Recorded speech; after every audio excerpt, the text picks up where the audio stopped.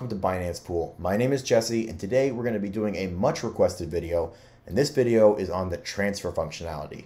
Now, Binance Pool's transfer functionality is designed for co-location centers, for hosters, and for miners that may have different tranches of miners underneath them to be able to divvy up mined assets and pay directly to oftentimes a client's wallet. And so this is really useful for all of the hosters out there or in case you want to split up funds.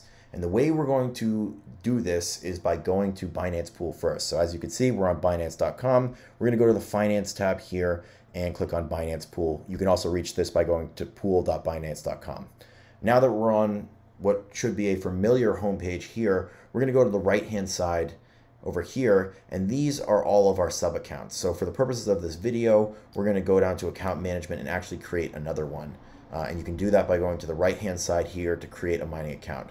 So as you can see, we've been naming a bunch of these different sub accounts for my fictional client Joey. So we're going to make 33 Joey 33. So this is where, as the hoster or as the co-location center, I'm divvying up, uh, divvying up the miners, right? And we can make our remarks down here, press create, and now we have created this sub account. Now we can go over to more settings finally and go to transfer earnings.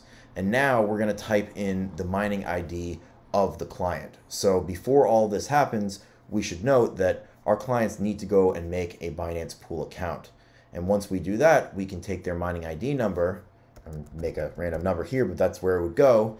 And then click here for the transfer proportion, and we can do everything from 0 to 100%. Obviously, if you want a straight pass through, it will be 100% transfer there, and that's really it.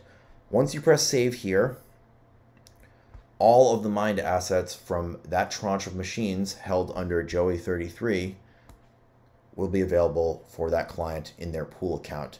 And from there, it is up to the client to transfer from the pool sub account, their mining sub account, over to their spot wallet. There is one last little bit of functionality that I'd like to go over, and this is primarily for the manager of the hosting or co-location facility. And this is the ability for them to see all of the transferred out earnings. So as you can see, you can go up to your to the right-hand side and go down to bill for main account. So from the main account, we're going to be able to see total mining earnings, total rebate earnings, and finally over here, total transfer earnings. Now keep in mind, the clients can only see what is coming out and spitting out into their pool wallet. And so this allows us to kind of section off different clients so that they don't know necessarily about each other or what they're making uh, for privacy reasons. And that's really it. If you have any other questions, please feel free to email us. Thank you so much for watching, and we hope you enjoy Binance Pool.